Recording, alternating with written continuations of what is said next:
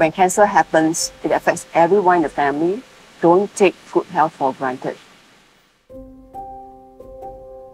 My father was diagnosed with terminal nose cancer um, during the last few months of my undergrad studies. He was totally uninsured. Financially, it was a huge burden. I had to balance between my examinations, studies, and being the caregiver for my dad. I don't even know how much the medical bills for my dad's uh, cancer treatment work out to because my relatives helped me to pay for them. Otherwise, I wouldn't know how we would have made it till today. My dad was the only breadwinner for the family then. When he was down, we had no more source of income, so he was still trying to work. We tried to pay for the daily living as well as for the out-of-pocket expenses such as supplements, transportation, some alternative treatments.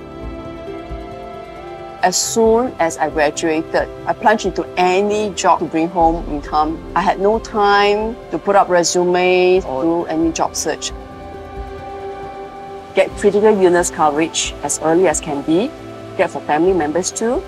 Because in times of need, we can support and take care of one another better when we do not have to worry about finances.